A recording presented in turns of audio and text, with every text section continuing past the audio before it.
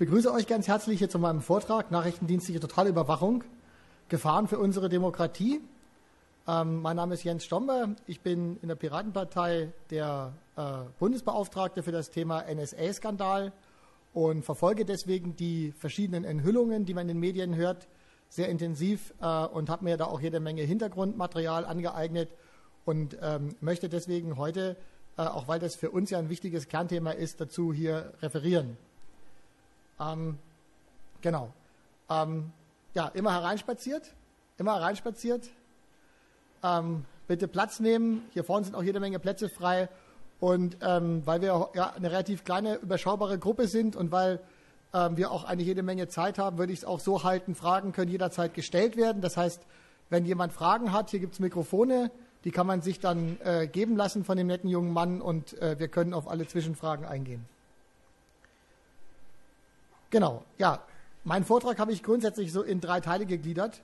Also ich möchte erstmal einen Überblick geben über die ähm, Architektur des globalen Überwachungsapparates, darüber berichten, ähm, wie die NSA, mit welchen Methoden die NSA ähm, eigentlich äh, weltweit das Internet überwacht. Ähm, ich möchte dann äh, auf Reaktionen aus der Politik ausgehen, eingehen und ich möchte darüber sprechen, welche Bedeutung die nachrichtendienstliche Totalüberwachung für unsere Demokratie hat. Fangen wir also an, mit welchen Methoden arbeitet der amerikanische Auslandsgeheimdienst NSA.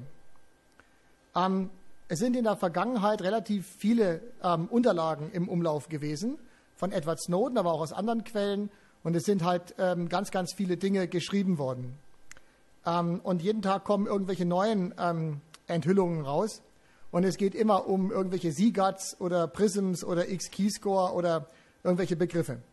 Vom Prinzip her kann man aber sagen, dass ähm, man grundsätzlich das alles, was die NSA da tut, in drei verschiedene Kategorien unterteilen kann. Und das sehen wir dann hier auf dem Bild. Und zwar ähm, ähm,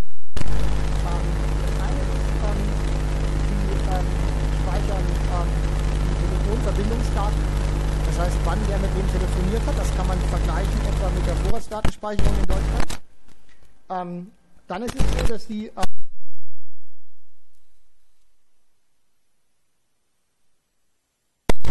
Facebook oder Google ähm, Daten abgreifen in den USA. Und dann machen sie noch was anderes und zwar ähm, sie zapfen halt äh, den, sage ich mal, das, den Internet Backbone an.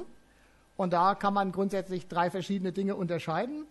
Ähm, das eine ist, dass man äh, in, in einem Netzwerkknoten wie den W6 direkt dann gibt es die Möglichkeit, Satellitenkommunikation mitzuschneiden und es gibt auch die Möglichkeit, ähm, Unterseekabel anzuzapfen. Das fällt dann halt in. Ähm, diese Daten werden halt äh, alle zur NSA geroutet im Wesentlichen, werden da abgespeichert auf irgendwelchen Großrechenanlagen und ähm, können dann halt äh, ausgewertet werden von Analysten und die erstellen dann daraus eben Lagebilder. Das heißt, das sind vom Prinzip her die, die, die äh, verschiedenen, sage ich jetzt mal, Informationsquellen, äh, die die NSA da betreibt und hat. Ähm, genau, und die haben äh, einen zunehmenden Schwierigkeitsgrad.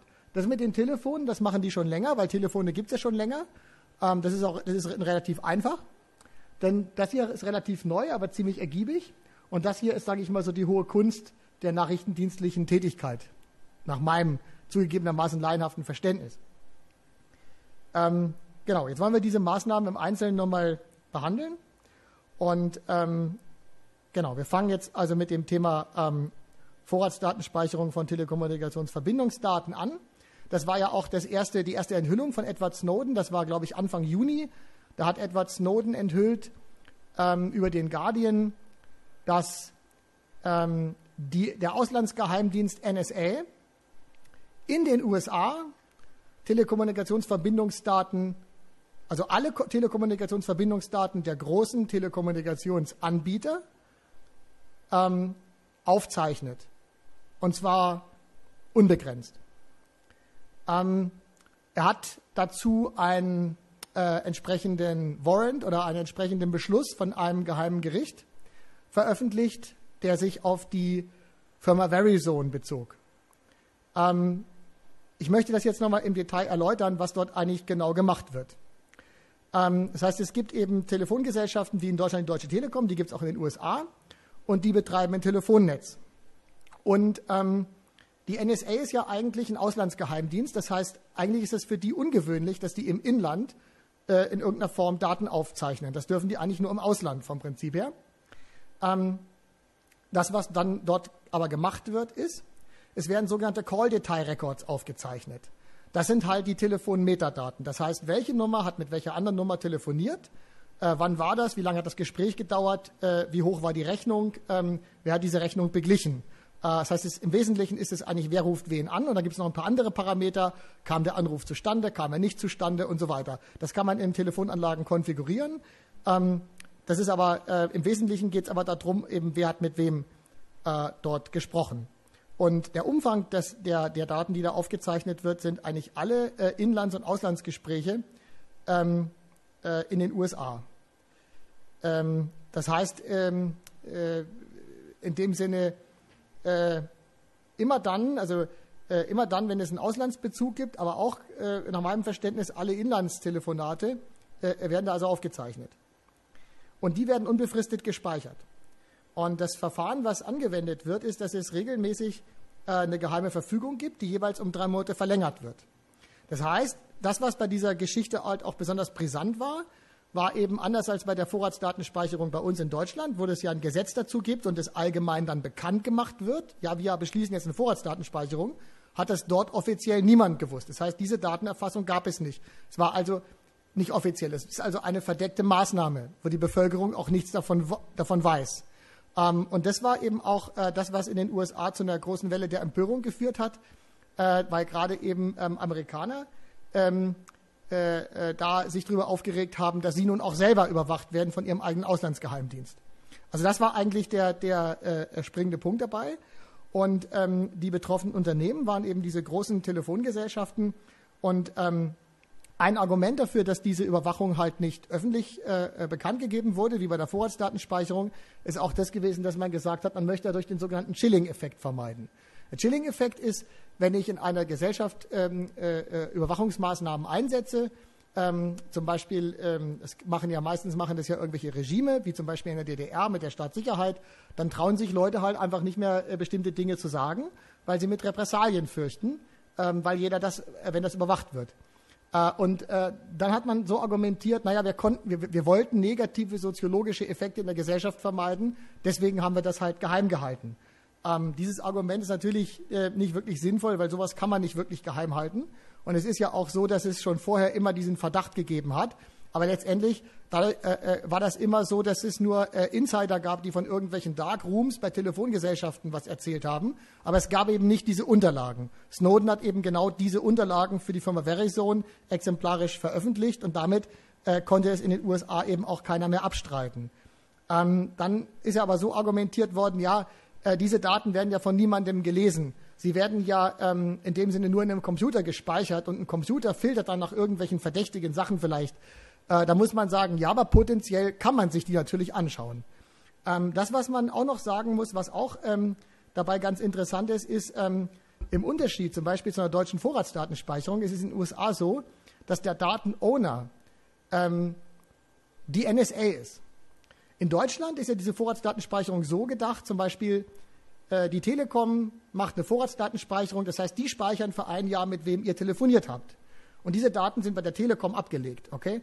Dann kommt irgendjemand, also zum Beispiel Kommissar Derrick, und sagt halt, ihr seid verdächtig und er möchte jetzt gerne wissen, mit wem telefoniert habt. Dann geht er zur Telekom und muss dort einen richterlichen Beschluss vorlegen, damit er an diese Daten drankommt. Dann bekommt Kommissar Derrick diese Daten. Ein halbes Jahr später kommt Kommissar Schimanski und sagt, ihr seid verdächtig. Er möchte diese Daten haben. Dann geht er wieder zur Telekom, dann braucht er wieder einen gerichtlichen Beschluss. Den legt er wieder vor, dann kommt er wieder an die Daten. Das heißt, jedes Mal, wenn ich auf diese Daten zugreifen will, wenn ich die Polizei diese Daten einsehen will, muss ich halt in irgendeiner Form einen richterlichen Beschluss haben. Das ist nun in, in den USA komplett anders. Da ist es so, ja.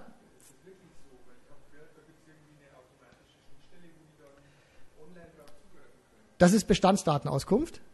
Nach meinem Verständnis, nach meinem Verständnis ist es, also, zur, also wir haben ja in Deutschland zum Glück doch keine Vorratsdatenspeicherung. Nach meinem Verständnis ist es eigentlich so angedacht, wenn ich von der Polizeibehörde bin und ich möchte an diese Daten ran, dann kann ich die nicht einfach irgendwo abfragen, sondern ich muss eigentlich jedes Mal bei der Telefongesellschaft halt vorstellig werden und die Daten sind auch bei der Telekom abgespeichert. Das heißt, die Polizei betreibt da keine eigene Datenbank.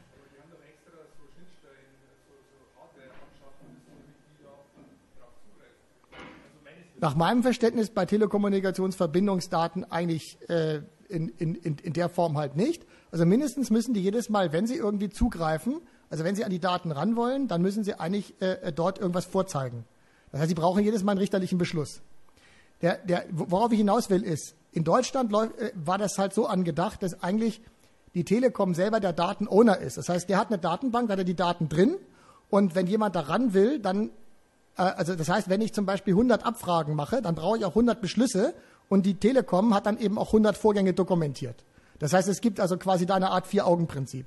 Hier ist es halt ein komplett anderer Film. Hier ist es halt so, ähm, die Daten werden bei der Telefongesellschaft erstmal gesammelt. Aber die werden dann an die NSA übertragen. Okay, das heißt, die NSA betreibt ihre eigene Datenbank, werden wir auch noch dazu kommen, was sie da betreiben. Die betreiben ihre, ihr eigenes Rechenzentrum und all diese Daten werden da abgespeichert und zwar unbefristet. Wenn die Daten dann einmal bei der NSA sind, ähm, dann kann die NSA damit eigentlich mal machen, was sie will. Okay? Das heißt, ähm, Agent X möchte auf die Daten zugreifen, kann er ohne irgendwelche Beschlüsse. Agent Y sagt, er hat einen neuen Algorithmus, um Verdächtige zu finden, kann er darauf anwenden. Das heißt, hier ist es so, die Daten werden einmal, wenn sie entstehen, gleich äh, äh, fließen die gleich zur NSA sind dann quasi ähm, bei der NSA, werden die gehalten. Und die NSA ist der Datenowner und kann damit eigentlich auch machen, was sie will. Das heißt, es gibt eine Verfügung für drei Monate für jede Telefongesellschaft, dass die Telefongesellschaft diese Daten rüberschicken muss. Und das ist es. Danach bleiben die unbefristet gespeichert. Das heißt, das, was da auch passiert ist, ist, das sind eben 1,9 Billionen Telefonate mittlerweile, 3,38 Petabyte. Das sind sehr viele Daten und die sind, das sind alles, was in den letzten fünf Jahren angefallen ist. Ähm, und äh, die, stehen, die stehen dann eben auch der NSA und dem FBI zur Verfügung. Das war in dem Sinne das Thema Telekommunikationsverbindungsdaten in den USA. Gibt es dazu noch Fragen?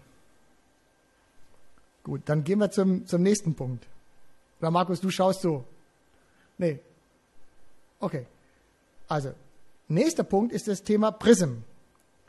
Ähm, bei Prism geht es darum, ähm, dass die NSA direkt auf die Daten zugreift, die bei Social Media Diensten oder Cloud-Anbietern gespeichert sind. Okay?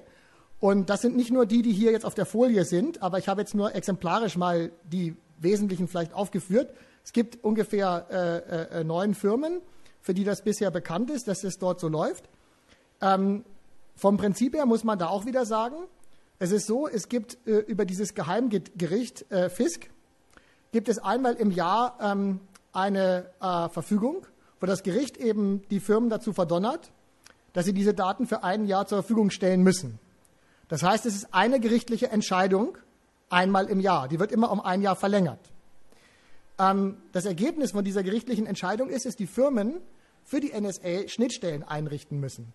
Das sehen wir quasi hier. Das sind diese roten Punkte. Das heißt, eine, eine Firma Google oder eine Firma YouTube, oder also das ist ja auch Google, aber diese verschiedenen Dienste, die eben Systeme betreiben, Datenbanken betreiben, die müssen eben mit, äh, äh, mit der NSA sich da abstimmen, welche Merkmale die NSA haben will. Die müssen eine Schnittstellenspezifikation machen, die müssen ein XML-Schema definieren, ähm, mit der man, über, über die man halt direkt auf, der, auf den Daten des jeweiligen Anbieters, Google, YouTube, Microsoft, Facebook, ähm, Suchabfragen und ausführen kann.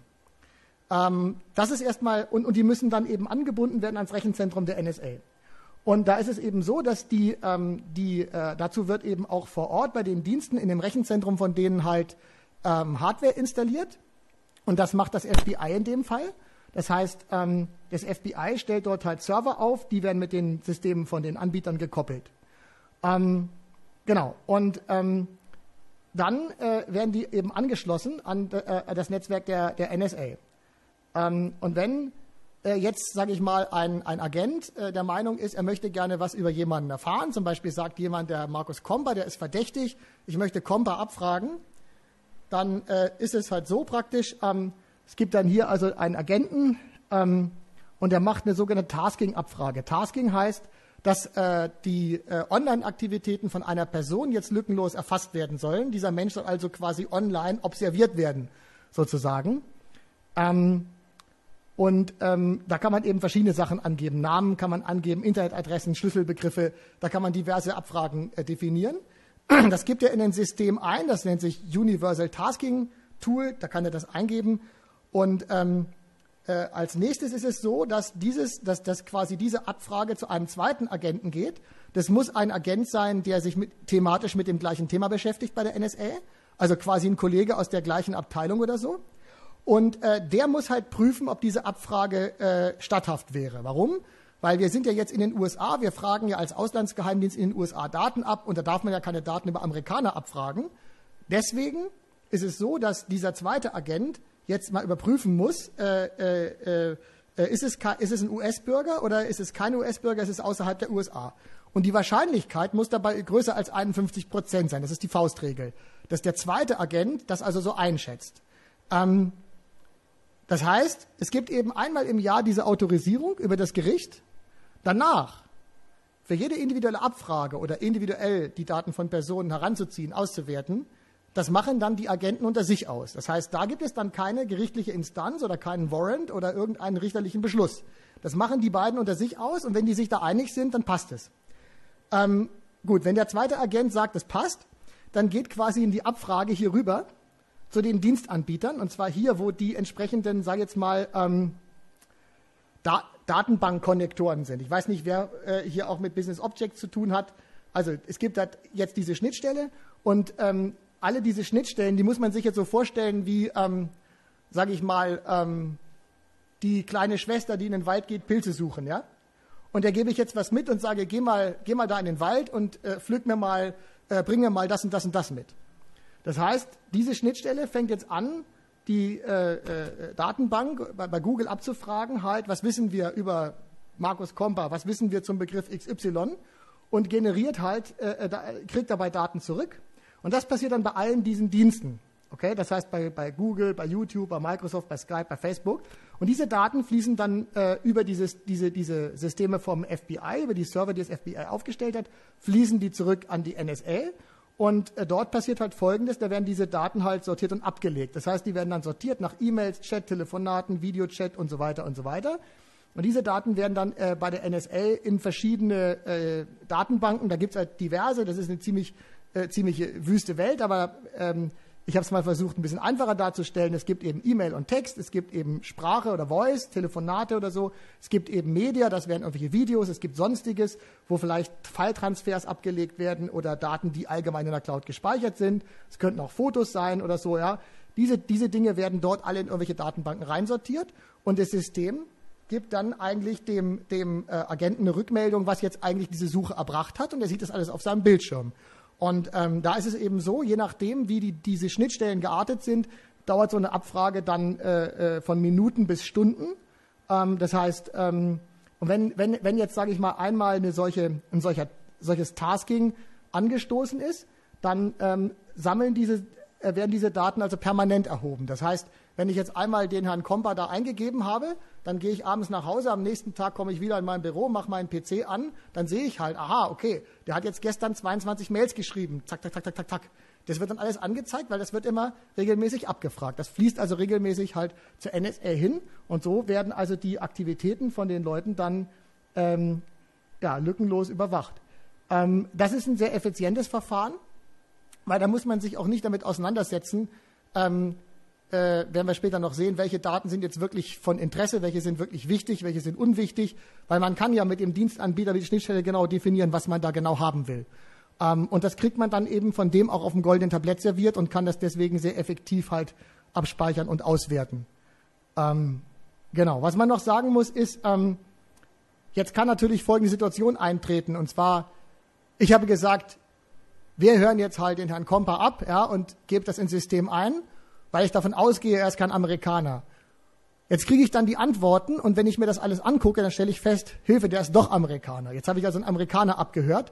Naja, und dann muss ich eigentlich das berichten. Das heißt, da muss ich sagen, okay, ähm, wir haben da ähm, äh, äh, aus Versehen so und so viel äh, Mal halt äh, doch Daten von Amerikanern abgefragt. Ähm, jedes Mal, wenn so eine Abfrage gemacht wird, gibt es dazu so eine Art Logfile und das geht auch an die CIA und an das FBI. Ähm, und da ist es dann eben so, dass ähm, es einmal offenbar bei der NSA eine interne Gruppe gibt, die so ein Audit machen soll. Und es gibt nochmal eine weitere Gruppe von, vom FBI, die es überprüfen soll, ob diese Abfragen auch alle Nicht-Amerikaner betroffen haben. Wir wissen aber, dass es in vielen Fällen offenbar nicht geklappt hat. Das heißt, ähm, als es dann irgendwie auffiel, Mensch, da waren aber jede Menge Amerikaner auch mit dabei, hat man dann gesagt, der Mensch, ähm, was sollen wir jetzt da irgendwelche Berichte schreiben? Ähm, sparen wir uns das doch. Also jedenfalls, wenn man den Medienberichten glauben darf, sind ja da verschiedene Datenschutzverstöße, die man da eigentlich hätte melden müssen, dann nicht gemeldet worden. Genau. Ähm, ja, das ist ein sehr effizientes Verfahren, weil man kriegt diese Daten gewisserweise schon irgendwo vorverdichtet, sage ich jetzt mal. Ähm, als jemand aus der Autoindustrie würde ich jetzt mal mit, einem, mit, mit einer Art Turbolader vergleichen, wo die Daten halt von den Firmen schon eigentlich vorverdichtet halt da in den Ansaugtrakt irgendwo reinströmen. Genau. Gibt es da noch Fragen dazu? Dann kommen wir zum, ach genau, dann wollte ich noch was zu den Zahlen sagen. Ähm, die Firmen haben ja dazu auch alle irgendwelche Zahlen bekannt gegeben. Ähm, das hört sich dann auch gar nicht unbedingt so viel an, wenn man das jetzt mit diesen Call-Detail-Records vergleicht. Ähm, man, wir wissen nicht, was jetzt wirklich dahinter steckt. Google hat sich ja geweigert, genauso zu berichten wie die anderen. Und ähm, die Frage ist auch, was eine Anfrage ist. Ja, ob eine Anfrage jetzt eben ähm, zum Beispiel ähm, bedeutet, verfolge alle Online-Sitzungen von Herrn Kompa oder ob eine Anfrage jetzt eben bedeutet, äh, gib mir die eine E-Mail. Das ist irgendwie nicht ganz, ganz klar geworden.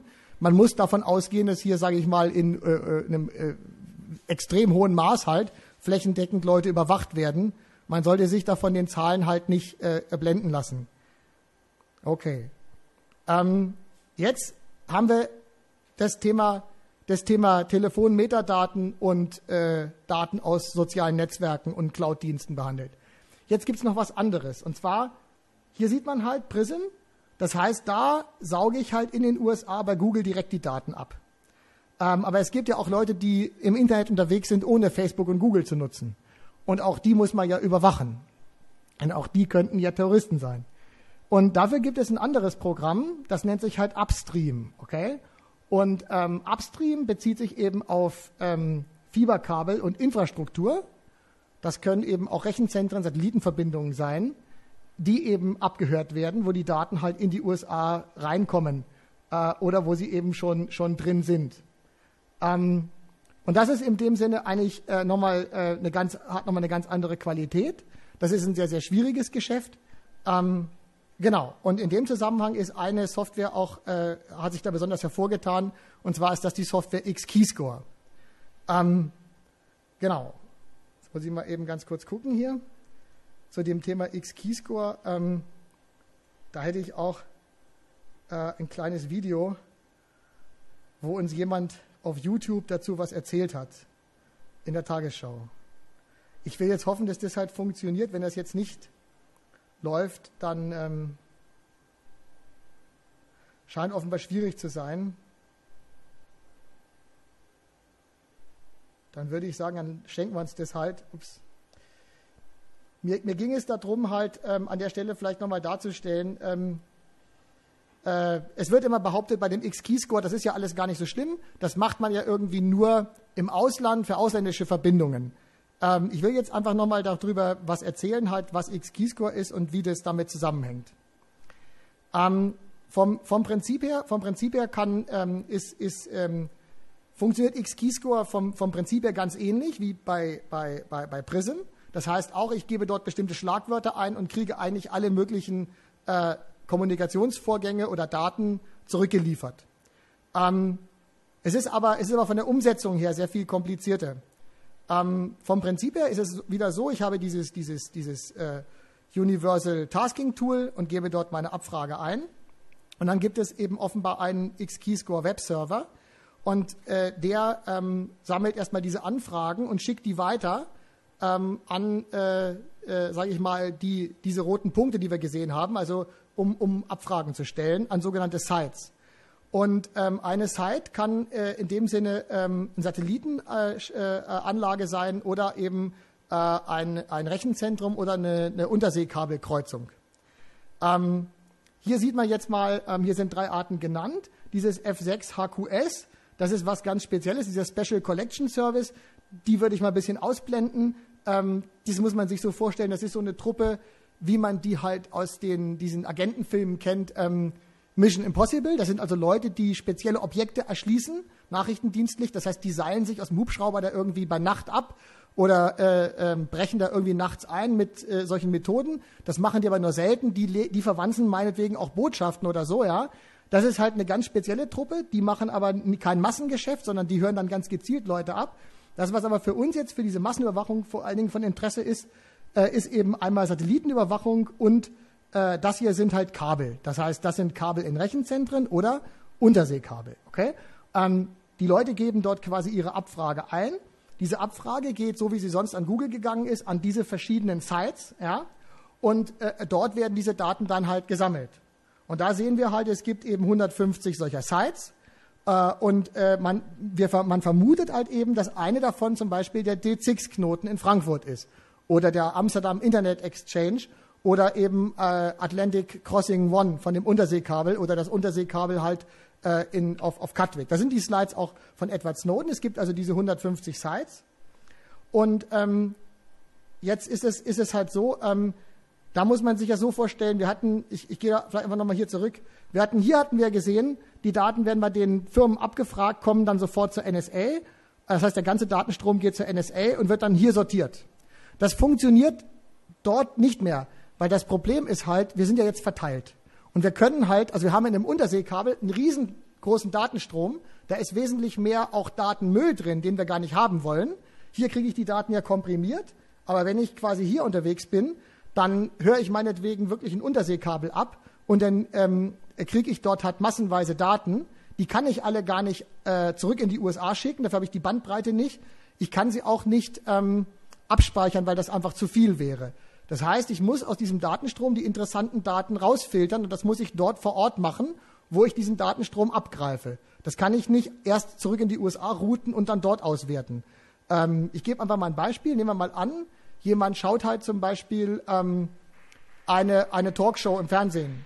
Oder nehmen wir mal an, jemand schaut jetzt ähm, äh, äh, einen, einen Pornofilm in HD-Qualität dann sind das natürlich Daten, die die NSA gar nicht speichern will. Denen reicht es ja aus zu wissen, welche Adresse das war. Die könnten das ja aus den USA dann selber runterladen.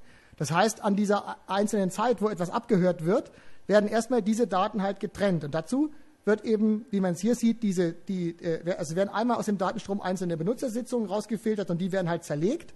Und da werden eben die Bestandteile rausgefiltert, die interessant sind. Das heißt also quasi äh, Logins, E-Mail-Adressen, wir es vorhin auch gesehen haben, äh, all diese Kategorien nach Protokollen aufgetrennt und dann werden eben entweder Metadaten oder die ganzen Daten dort vor Ort erstmal auf einem Rechner abgespeichert und bleiben auch da abgespeichert. Das heißt, wenn ich dort jetzt eingebe Markus Kompa, Markus Kompa fährt nach Japan, dann wird an der Unterseekabelstation in Japan werden die Daten abgespeichert, die darüber gegangen sind, wo irgendwas, irgendein Bezug zu Kompa erkennbar war. Und äh, in Frankfurt am D6, wenn seine Daten darüber geroutet werden, werden die wieder abgespeichert. Und der Agent kann dann in dem Sinne sehen, okay, in Japan gab es einen Treffer, in Deutschland gab es einen Treffer und er kann sich dann diese Daten anzeigen lassen und kann sich die dann auch in die NSA-Zentrale rüberladen. Aber das ist eben kein kontinuierliches, kein kontinuierlicher Datenstrom. Das heißt, da muss man ein bisschen nachdenken, was man für Abfragen stellt. Muss ich irgendwie so eine Query überlegen, die ins System reingeben, gucken, was, was man für Treffer kriegt und es dann halt weiterentwickeln. Und das ist das, was da im, im Grunde genommen passiert. Ähm, und ähm, da geht es einfach nur, jetzt sage ich mal, grundsätzlich halt um den, um den Prozess, wie diese Daten halt äh, äh, da äh, äh, erhoben werden. Ähm, und dieses ist ein Verfahren, das kann man also überall machen. Das ist nicht auf Satellitenverbindungen beschränkt und ist auch in den Unterlagen so nicht erkennbar, dass sich das nur auf ausländische Satellitenverbindungen beschränkt. Das kann man halt genauso gut äh, auch mit Unterseekabeln machen oder ähm, äh, in einem Rechenzentrum. Wenn man das machen will, dann würde es eigentlich am meisten Sinn machen, in ein Rechenzentrum zu gehen. Warum ist das so? Das Rechenzentrum ist das Einfachste. Der Punkt ist, viele Leute haben eine falsche Vorstellung davon, wie es zum Beispiel im Netzwerkknoten in Frankfurt aussieht. Denn es ist nicht so, dass es ein Gebäude ist, wo irgendwelche Leute vom D6 sind und die dort keinen reinlassen, sondern im Grunde genommen ist ein D6, ein Netzwerkknoten, nur ein Makler. Der ist selber Mieter in einem Rechenzentrum, das heißt, das Gebäude gehört ihm gar nicht und hat dort Netzwerkequipment, wo er ähm, allen Providern den Zugang zu diesen Netzen gibt, die sich, die dort peeren können. Leute können jetzt in diesem Rechenzentrum sich dort einen Raum mieten und können in diesem Raum reinstellen, was sie wollen an Equipment, haben dort quasi eine Co-Location und können zudem sagen, gib mir bitte mal ein Kabel von der Deutschen Telekom, weil ich möchte mit der Deutschen Telekom peeren. Gib mir bitte ein Kabel von Level 3. Ähm, die, die, kriegen dann die, dieses Peering halt geschaltet und was sie dann mit den Daten dort in ihrem Raum machen, ob sie die weiterleiten oder ob sie die zwischendurch nochmal kopieren, das ist eigentlich deren, denen überlassen. Das kann man auch von außen gar nicht prüfen, weil es kann keiner da reingucken. Das heißt, wenn man Datenverkehr abfangen will, ist es eigentlich das Einfachste, wenn man die Möglichkeit hat, in ein Rechenzentrum zu gehen, das dort zu machen. Das zweiteinfachste sind Satellitenübertragungen, weil Satellitenübertragungen sind ja so, die Daten sind ja einfach im Orbit. Unterseekabel, habe ich mir sagen lassen, ist relativ schwierig. Entweder muss man an irgendeine Station gehen, wo die Kabel gerade anlanden und wo es so eine Umsetzung gibt auf die normale Netzwerktechnik, ähm, weil solche Kabel irgendwie unter Wasser anzuzapfen, ist halt ziemlich schwierig. Man kann sowas auch probieren. Ähm, dann muss man, wenn man die Kabel aufschneidet, dann fällt das aber auf, deswegen werden die dann gebogen. Ähm, das ist wohl ein ziemlich komplizierter Prozess. Wenn man sowas machen will, fällt das auch in der Regel auf. Da wurde mir gesagt, was man machen kann, ist, ähm, äh, dass man halt irgendwie einen Fischtrawler mietet und das Kabel erstmal zu Klump fährt, dann fällt es aus für drei Wochen, bis die mit dem Schiff zur Reparatur hingefahren sind. In der Zeit kann man dann möglicherweise irgendwie manipulieren, weil das merkt dann erstmal keiner und dann, wenn es wieder in Betrieb genommen ist, ist man in der Leitung drin. Ähm, was da genau äh, gemacht wird, wissen wir nicht. Wir haben ja aber in Schleswig-Holstein momentan dazu äh, eine äh, Anzeige laufen, die auch beim Generalbundesanwalt mittlerweile ge gelandet ist, äh, wo sich der Generalbundesanwalt damit beschäftigt, ob die Firma Level 3, das ist ein Netzwerkbetreiber, der das Atlantic Crossing One Cable betreibt, ob dieser Netzwerkbetreiber möglicherweise äh, dort Datenverkehr ähm, widerrechtlich ausleitet. Äh, insofern, wenn der Generalbundesanwalt das Verfahren dort äh, übernimmt, dann spricht es dafür, dass dort der Verdacht äh, vielleicht nicht ganz falsch ist.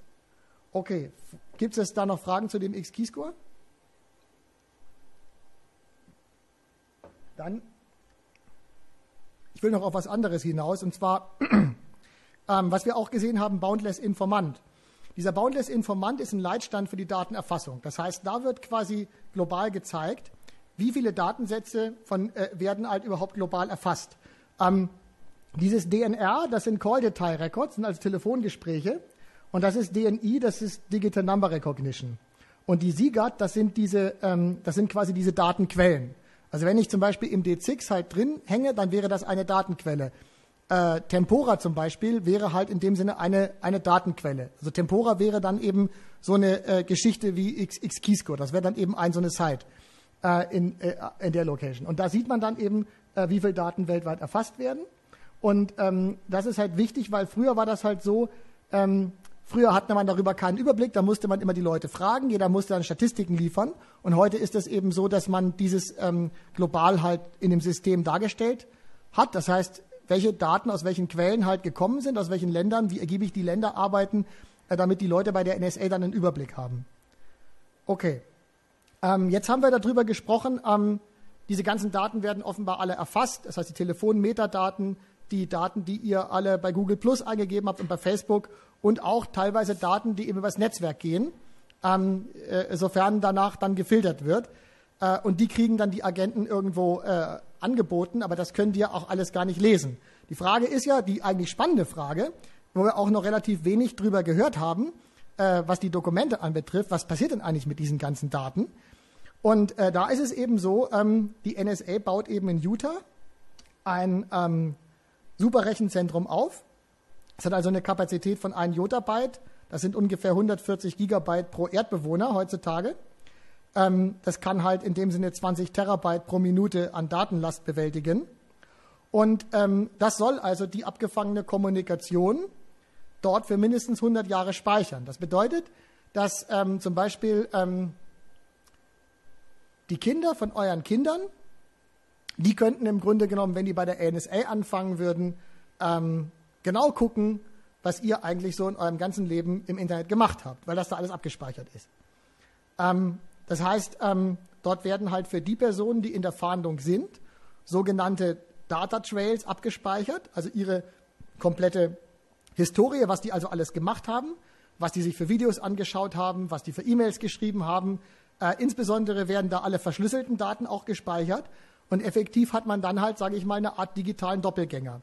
Ähm, problematisch ist dabei natürlich, wenn ich extrem viele Daten sammle, dann kann ich damit eigentlich alle möglichen Stories über jemanden erzählen, äh, vor allen Dingen im Internet. Ähm, und ja, das bietet natürlich auch ähm, äh, vor allen Dingen die Gefahr, dass Unschuldige da irgendwo äh, dann auf einmal verdächtigt werden. Es geht auch darum, Verschlüsselung zu brechen. Ähm, deswegen hat man da auch sehr viel Rechenleistung installiert. Also diese 20 Petaflops ist also so ziemlich der schnellste Superrechner, den man sich jetzt momentan überhaupt vorstellen kann. Und die, die, die Inbetriebnahme ist nächsten Monat. Okay. Gut, dann will ich nochmal auf, auf eine Sache hinweisen, auf einen Aspekt hinweisen, der ähm, in dem Zusammenhang auch äh, ganz, ganz, ganz wichtig ist aus meiner Sicht. Und zwar ist es jetzt so, wenn wir über diese Überwachung sprechen, dann müssen wir erkennen, dass wir ähm, diese Überwachungsmaßnahmen nie isoliert betrachten können. Wir müssen, ähm, das sieht man auch bei dem Thema, bei dem Thema, Thema PRISM ganz deutlich, wir müssen das immer im Zusammenhang sehen von privatwirtschaftlicher und staatlicher Überwachung. Weil viele glauben halt, okay, ich bin bei Facebook, aber ich kann ja jederzeit das Konto einfach ähm, schließen und dann müssen die meine Daten ja löschen, dann bin ich aus der Sache raus. Ist aber nicht so, weil die Daten, die Facebook über die Leute gespeichert hat, die sind, bleiben natürlich bei der NSA gespeichert, weil das Rechenzentrum in Utah, das löscht halt nichts. Das heißt, die Daten, die bei Facebook über euch drin sind, die sind jetzt auch in Utah und die bleiben auch in Utah. Und ähm, es ist eben so, man muss auch dabei sehen, ähm, dass eben solche privatwirtschaftlichen Unternehmen auch einen Beitrag dazu leisten, die Geheimdienste zu unterstützen, ob nun bewusst oder unbewusst. Weil es ist eben so, es gibt eben einmal die Informationen, die ich dort bewusst eingebe, Profildaten. Es gibt dort ähm, unbewusst erzeugte Informationen einer Sitzung. Aber der Dienstanbieter leitet ja daraus auch Daten über euch ab, denn er möchte ja wissen, äh, fahrt ihr gerne Ski, fahrt ihr Motorrad, äh, was, was esst ihr gerne und so weiter, damit er euch entsprechend an Werbekunden halt eure Adressen weitergeben kann. Und auch diese Daten, die ein Anbieter wie Facebook im Hintergrund über euch generiert, wo Facebook sich über euch eine Meinung bildet, diese Daten kriegt ihr nie zu sehen, aber die NSA natürlich. Deswegen ist es auch so, wenn ich mir jetzt überlege, wenn ich jetzt irgendwelche Unterseekabel anzapfe, da kriege ich auch eben immer nur, ups, Moment, kann man das? Ja, genau. Da kriege ich auch immer nur einen Bruchteil von diesen Daten, weil ein anderer Teil ist verschlüsselt oder ich, es läuft gerade über ein Kabel, wo ich nicht drin bin. Wenn ich aber über das Prism-Programm gehe, dann kriege ich eigentlich in dem Sinne alle Daten, weil ich rufe die ja direkt bei Facebook ab. Deswegen ist es auch so ergiebig, weil ich dort eigentlich an Daten rankomme, die auch in eurer Benutzersitzung gar nicht drin sind, weil andere über euch schon ein Profil erstellt haben. Ähm, deswegen ist es halt besonders effektiv. Ein anderes Beispiel, wo man das sehen muss, diesen Zusammenhang zwischen staatlicher und privater Überwachung, ist dieses Beispiel ähm, in, in Russland. Das ist jetzt, will ich trotzdem mal erzählen. Da gab es eben Mobilfunkanbieter, die haben die Packet Inspection eingeführt, um ihren Kunden halt spezielle Verträge anbieten zu können, wo die dann zum Beispiel kein Voice-over-IP machen dürfen und so weiter.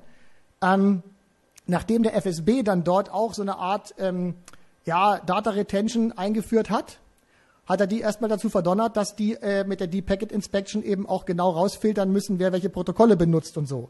Das heißt, wenn derartige Technologien die in die Privatsphäre eindringen, auch bei privatwirtschaftlichen Unternehmen einmal installiert sind, dann können natürlich Geheimdienste äh, auch diese Daten halt dann einfach, äh, äh, sage ich mal, sich aushändigen lassen über irgendwelche Geheimgerichte und dann werden die Daten dort missbraucht. Und das ist das, was passiert. Deswegen, wenn wir, wenn wir uns über, über Überwachung unterhalten, über staatliche Überwachung, dann können wir das Thema nicht isoliert diskutieren. Wir müssen das immer im Zusammenhang diskutieren. Gut, die, die Politik, was hat die Politik äh, damit zu tun? Ja, die Politik hat halt verschiedene Vereinbarungen getroffen. Ähm, es gab eben einmal diese sogenannte Verwaltungsvereinbarung aus dem G10-Gesetz, die ist kürzlich außer Kraft getreten. Es gibt aber genauso auch andere Vereinbarungen über die Zusammenarbeit. Das heißt zum Beispiel dieses geheime Memorandum äh, of Agreement zwischen BND und NSA zur zukünftigen Zusammenarbeit.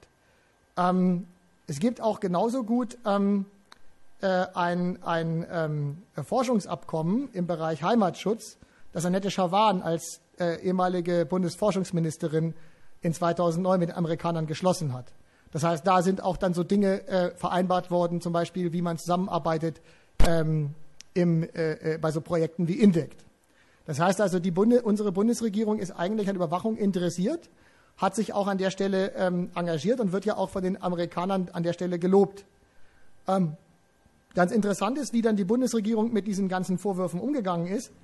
Ähm, hier sieht man mal die Zuständigkeiten. Und da fällt uns halt eigentlich mal Folgendes auf. Äh, eigentlich ist der Herr Pofalla äh, der, der Beauftragte für Nachrichtendienste und er ist auch der Koordinator. Das heißt, der koordiniert die Zusammenarbeit der Nachrichtendienste. Wenn also hier ein Verdacht im Raum steht, dass der BND halt Daten an die NSA gibt, und dieser Verdacht ist ja durch diese Veröffentlichungen vom Spiegel halt äh, aufgekommen, dann wäre eigentlich auch der Herr Pofalla da der erste Ansprechpartner. De facto ist es aber so, dass ähm, zunächst mal Herr Friedrich vorgeschoben wurde, der in dem Sinne pro forma eigentlich gar nicht zuständig ist. Ähm, und äh, da kann ich auch eine ganz interessante Geschichte mal erzählen. Und zwar ähm, ist es eben so gewesen, ähm, äh, kurz nachdem, ähm, kurz vor dieser Reise von, von Friedrich halt äh, in die USA, äh, wo er also dahin gefahren ist zur NS&A, um sich das alles nochmal erklären zu lassen, ähm, war das halt so, da gab es in Würzburg am 5. Juli eine Wahlkampfveranstaltung der CSU mit dem Herrn Friedrich, der auch aus Oberfranken kommt. Und da waren auch die, äh, war auch der politische Geschäftsführer des Bezirksverbands Unterfranken und der Landtagskandidat aus Unterfranken, Jürgen Neuwirth und Maximilian Winkler, die waren also vor Ort. Und ähm, die haben da halt für Freiheit für Edward Snowden demonstriert, haben sich dann entschlossen, diese Veranstaltung auch zu besuchen und haben den Herrn Friedrich dann halt mal gefragt, was er nun dazu sagt. Und der Herr Friedrich sagte den beiden dann ins Gesicht, ähm, also ich bin da gar nicht zuständig, fragt doch Herrn Profalla, äh, Herrn Profalla, ja. Ähm, tatsächlich ist dann aber Friedrich in die USA geflogen und nicht Profalla. Ähm, und ähm, äh, das heißt also auch, Friedrich hat sich offenbar da gar nicht zuständig gefühlt. Das heißt, Friedrich war ein Ablenkungsmanöver, um uns irgendwo unterzujubeln. Okay, wir haben mit denen gesprochen und jetzt passt ja alles und es werden ja auch keine deutschen Daten abgegriffen. Ähm, aber das äh, äh, muss man eben so sagen. Ähm, ich, ich würde jetzt gerne noch ein Video von Herrn Pofalla zeigen. Das wird aber jetzt nicht funktionieren. Es ist auch schon äh, die Zeit fast abgelaufen, äh, wo Herr Pofalla also behauptet, deutsche Daten werden aus dem Datenstrom herausgefiltert. Ja, natürlich werden jede Menge Daten herausgefiltert, aber es geht auch nicht unbedingt darum, ähm, was herausgefiltert wird.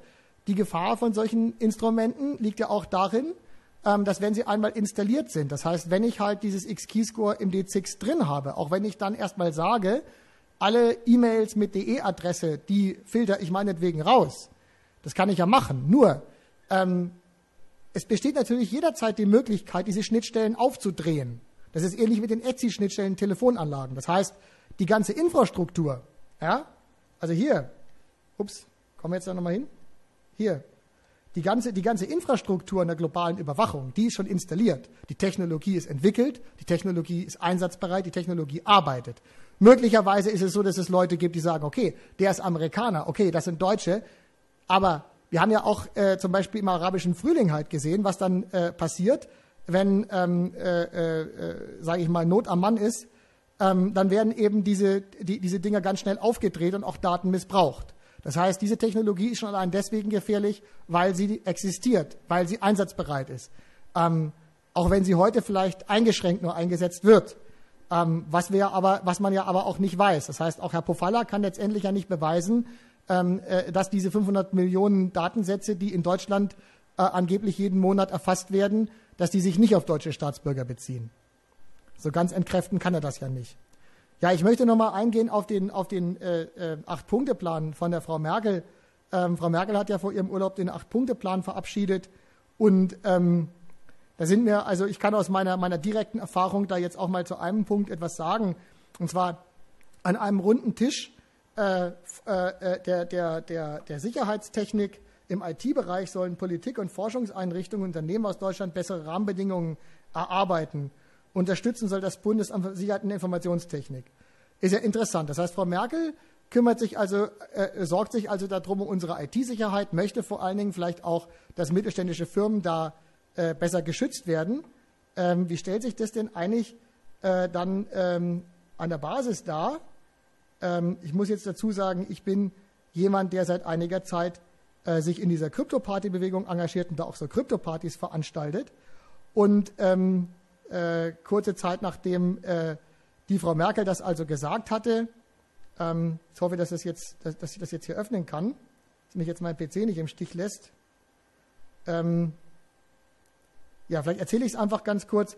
Äh, äh, bekamen ähm, äh, verschiedene Leute, die sich bei CryptoParty engagiert haben äh, und auch auf der Mailingliste waren, also eine E-Mail von dem Branchenverband, ähm, äh, wie heißt der, Teletrust, da ist also auch das BSI-Mitglied und das BKA.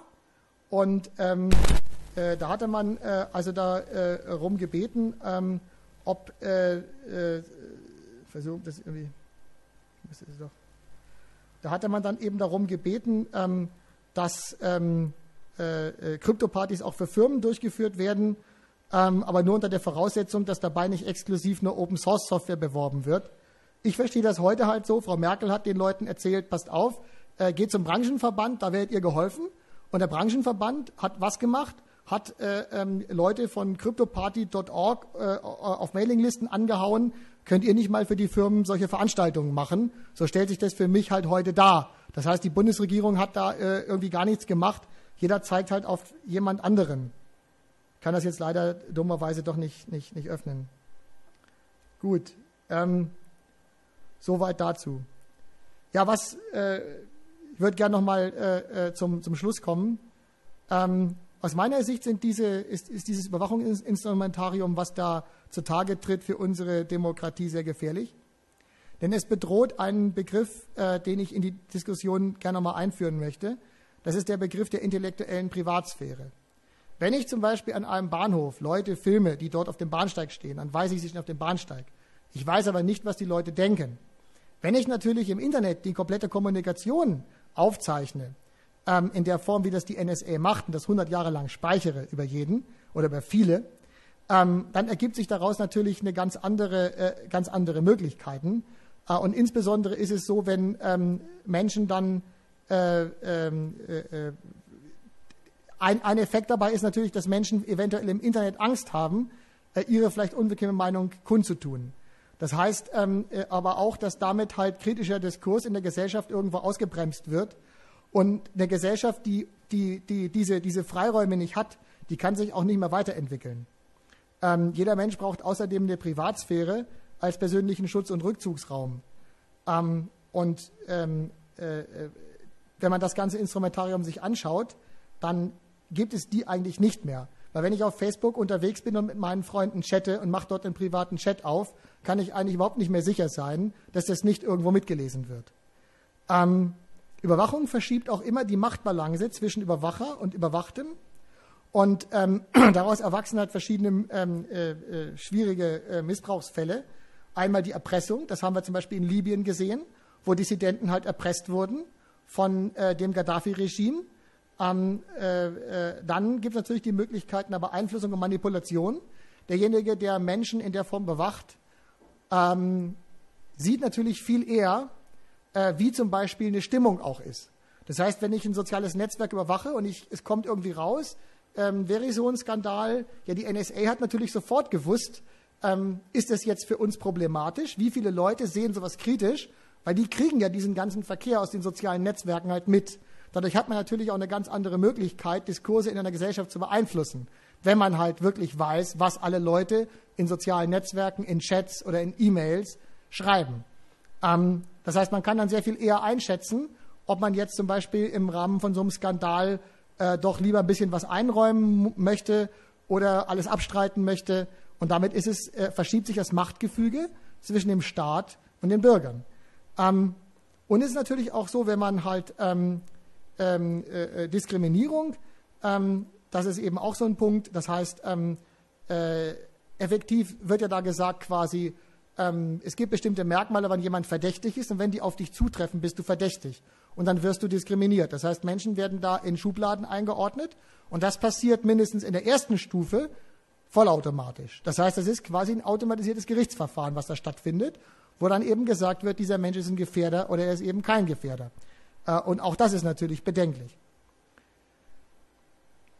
Was wären halt ähm, Leitlinien für künftige Überwachungsgesetze? Ähm, also der erste Punkt wäre halt, man muss die Konsequenzen daraus ziehen, dass Überwachung eigentlich die Kluft zwischen Privatwirtschaft und Staat heute mehr und mehr überwindet. Ähm, es ist heute eben nicht mehr so wie früher, dass es den, nur den Staat gibt, der dort seine Datenbanken hat und dort die Wirtschaft, sondern heute ist, ist es halt eigentlich, äh, äh, sage ich mal, fließend und diese Grenzen werden immer weiter verschwimmen. Ähm, deswegen darf sich auch die Kontrolle, zum Beispiel durch Datenschützer, nicht nur auf staatliche Akteure beschränken, sondern man muss in dem Sinne auch bei ähm, privaten Unternehmen immer die Frage stellen, wie sich die Daten, die da erzeugt werden, im Gesamtkontext auch einer staatlichen Überwachung auswirken können.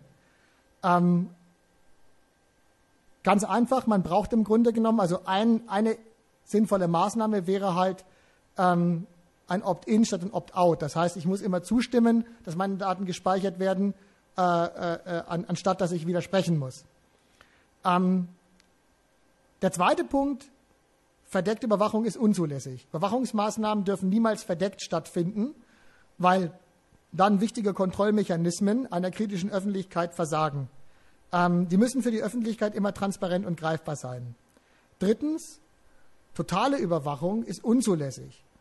Ähm, das heißt, um, um Schaden zu begrenzen, dürfen keine Pauschalvollmachten ausgestellt werden, so wie im Fall der NSA, wo gewissermaßen ein Gericht einmal für drei Monate, für ein Jahr diese Entscheidung trifft und dann gewissermaßen, ähm, sage ich mal, die, die Regel lautet, ähm, Schatzi, du weißt doch, wo die Sachen sind, nimm dir, was du brauchst. Ja? ähm, sondern ähm, es muss eigentlich immer so sein, dass äh, wenn staatliche Stellen auf Daten zugreifen wollen, dass die eigentlich für jeden individuellen Fall, den sie da behandeln, sich das halt genehmigen lassen müssen.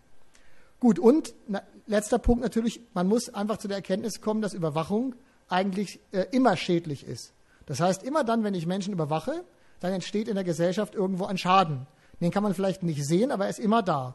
Und dessen muss man sich bewusst sein. Und man muss dann eben, sage ich mal, ähm, schauen, dass wenn man schon überwacht, dass man den Schaden möglichst gering hält. Ähm, zu sagen, ähm, äh, äh, das tut ja keinem weh, da passiert ja keinem was, ist absolut falsch und wird eben durch die Theorie der Intellectual Privacy auch widerlegt. Gut, damit bin ich erstmal mit meinem Vortrag soweit zu Ende. Ich habe fünf Minuten überzogen. Bitte das zu entschuldigen. Ähm, genau, aber ich bin mir ganz sicher, dass diese Affäre noch lange nicht zu Ende ist. Sie wird weitergehen und vielleicht schon auf dem nächsten Kongress sehen wir uns ja dann wieder. Danke euch fürs Zuhören.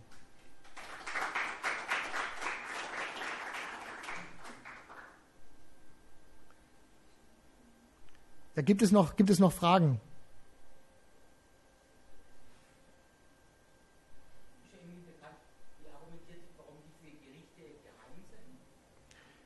Ja, äh, na, äh, also warum sie geheim sind. Genau, also ein Argument, was da gekommen war, war eben das, dass man gesagt hat, ähm, es ist also bekannt, dass es in der Gesellschaft einen Chilling-Effekt gibt. Das heißt, wenn ich Leute überwache, verhalten sie sich anders. Das heißt, auch äh, äh, Kritiker werden dann vorsichtiger sein. Und äh, da hat man gesagt, wir halten das halt geheim, ähm, damit wir diesen Effekt vermeiden. Das ist natürlich ein Schwachsinnsargument, weil der Punkt ist halt, derart massive Überwachungsprogramme kommen immer raus. Also man kann nicht alle Menschen überwachen, ohne dass es jemals rauskommt. Das ist natürlich Quatsch.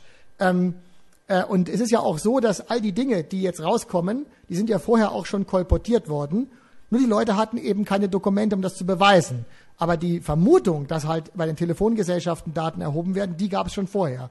Ähm, aber das Argument ist natürlich ganz einfach. Ähm, wenn man Leute überwacht, dann das, das will eigentlich keiner. Und vor allen Dingen, wenn man in Amerika Amerikaner überwacht. Also ein bisschen so die, die ähm, Doppelzüngigkeit in der Debatte ist ja auch die, dass eben gerade die, also die Amerikaner haben sich natürlich total darüber aufgeregt, dass es ja eine Riesensauerei, dass Amerikaner überwacht werden. Äh, äh, äh wenn die, die, die NSA halt irgendwelche Unterseekabel äh, im Ausland abhört, dann klatschen die in die Hände und sagen, jawohl, äh, äh, macht ja einen guten Job, ja. Äh, das ist eben auch der, der, der Punkt dabei. Überwachung ist immer dann gut, ja, äh, wenn andere überwacht werden, äh, wenn man selber über, äh, äh, ja, und deswegen denke ich mal, dass das auch äh, von, von Snowden taktisch relativ klug war, mit dem Thema anzufangen, weil damit hat er erstmal äh, äh dort auch äh, das Bewusstsein der Leute halt entsprechend äh, ja, angeregt.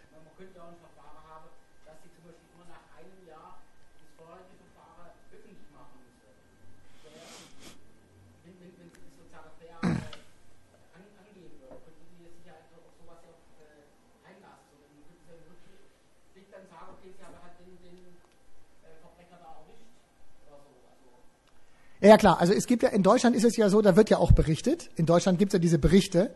Nur ist es natürlich so, wenn ich über das alles, was die NSA macht, halt wirklich, also man muss auch wissen, die NSA ist ein ausländischer Nachrichtendienst, die sagen natürlich auch, sie wollen ihre Methoden halt nicht, nicht öffentlich darstellen, was sie machen, weil dann könnten ja Verbrecher sich darauf einstellen. Also die rechnen immer damit halt, ähm, dass sie Leute halt irgendwie äh, dann fangen, weil die äh, Leute ihnen ins Netz gehen, weil die nicht wissen, was sie machen. Ähm, das ist äh, eins, eins ihrer Argumente, ja. Das ist, eins, das ist eins ihrer Argumente. Das ist auch sicherlich einfach das, das, das, Schwierige, das Schwierige an der Stelle. Ähm, äh, und äh, vielleicht ist es auch, ist, ist auch teilweise ähm, das unter dem Schock vom 11. September nachvollziehbar, weil ja da die Geheimdienste weniger zusammengearbeitet haben. Aber ja.